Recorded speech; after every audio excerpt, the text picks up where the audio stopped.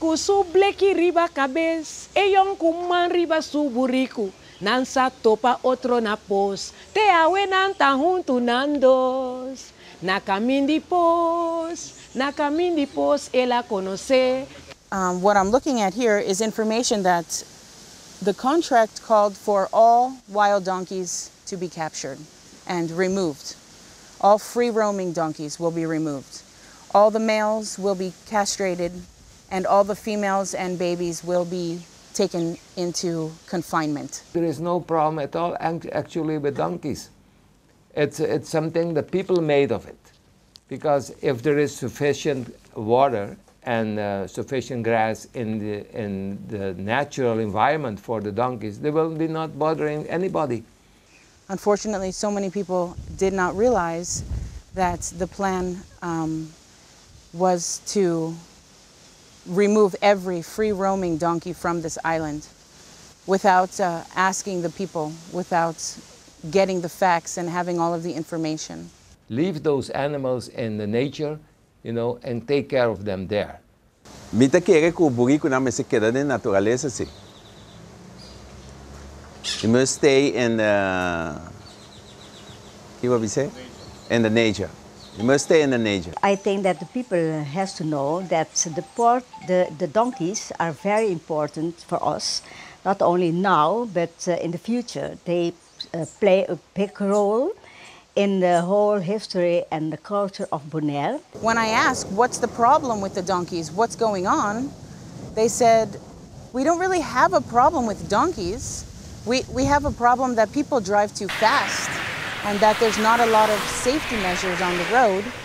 And as we take the donkeys home and we move into their areas and we block them from the water that they're used to getting, the donkeys are coming closer to town to try to make up for that water that they're, they're not getting.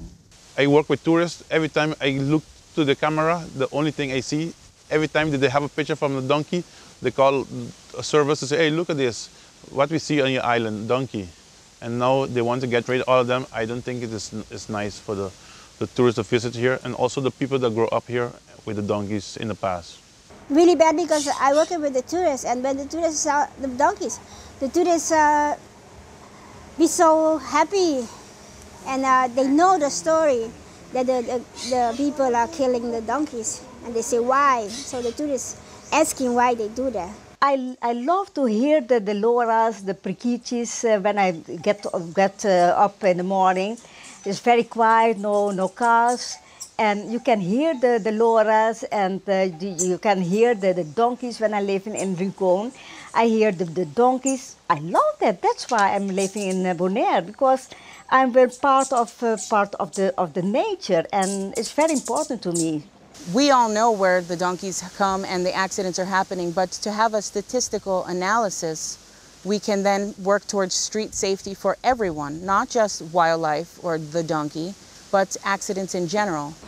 And 15 years ago, the people want to uh, make the donkey dead, and um, one person write uh, letters to the um, queen from Netherlands, and she stopped um, killing the donkeys.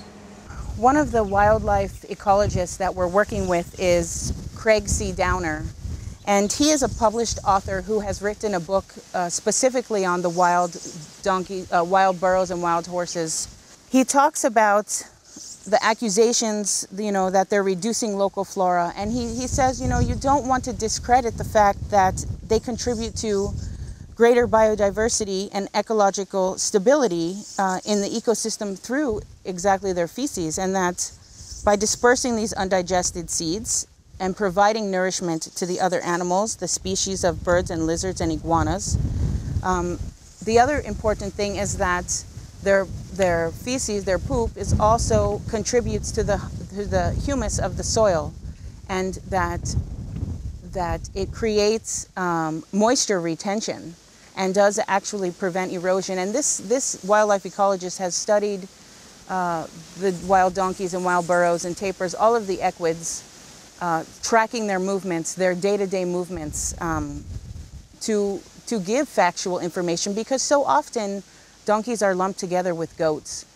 and that they're, they're grouped together as grazers, and we have to get rid of the grazers without taking into account the special relationship that, that the donkeys contribute to the ecosystem.